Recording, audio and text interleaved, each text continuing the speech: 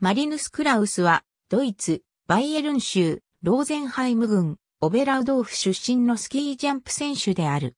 ドイツ連邦警察局に所属する警察官である。クラウスはノルディック複合の選手としてキャリアをスタートさせ、2009年に準ジャンプへ転向した。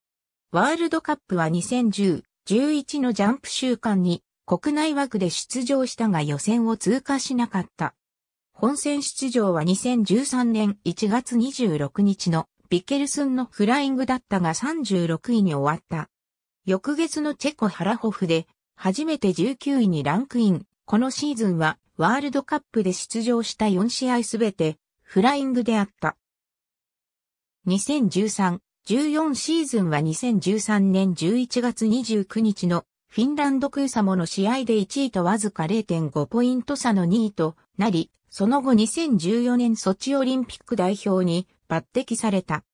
ソチオリンピックではノーマルヒルでは補欠に回ったが、23歳の誕生日の2日後に行われたラージヒルで6位入賞、アンドレアス・バンク、アンドレアス・ウェリンガー、ゼベリン・フロイントと組んだ団体では2番手を飛び、チーム合計1041.1ポイントで金メダルを獲得した。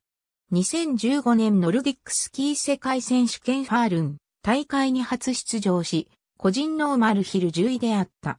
その後は不調や怪我に苦しみ、コンチネンタルカップや FIS カップを転戦している。ありがとうございます。